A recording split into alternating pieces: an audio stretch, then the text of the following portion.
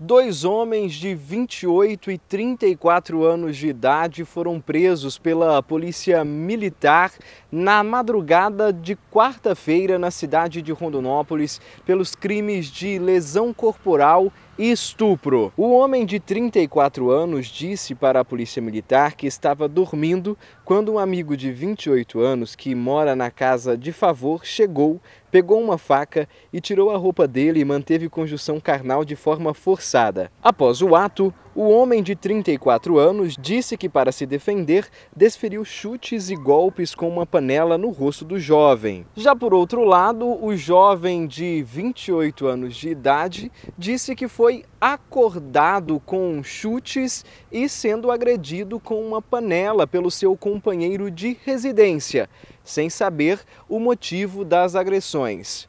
Os dois homens foram conduzidos para a Delegacia de Polícia Civil do município para as medidas necessárias.